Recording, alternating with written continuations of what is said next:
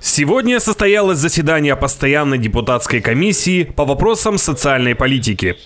Городские депутаты рассмотрели пять вопросов. Среди них о внесении изменений в отдельные решения Думы, в частности в положении о создании условий для организации досуга магаданцев, а также в положении об организации музейного обслуживания. Речь о порядке установки надписей на объекты культурного наследия. Также депутаты обсудили вопрос об утверждении муниципальной программы развития физкультуры и спорта на территории Магадана на 22-26 годы. Целью программы является создание условий, обеспечивающих возможность для населения города Магадана систематически заниматься физической культурой и спортом, а также совершенствование системы подготовки спортивного резерва, развитие массового спорта и туризма в муниципальном образовании город Магадан.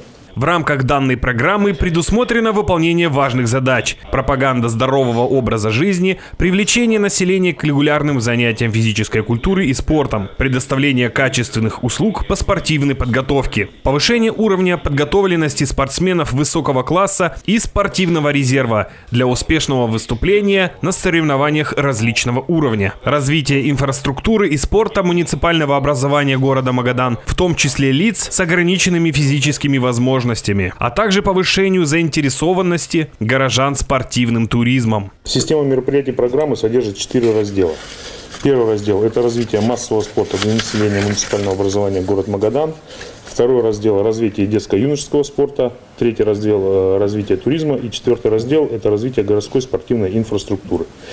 На реализацию программных мероприятий предлагается, предполагается потратить 106 миллионов рублей, в том числе средства муниципального бюджета образования Э, средства э, бюджета муниципального образования город Магадан 52 миллиона рублей, средства областного бюджета 28,7 миллионов рублей, средства федерального бюджета 26,1 э, миллионов рублей.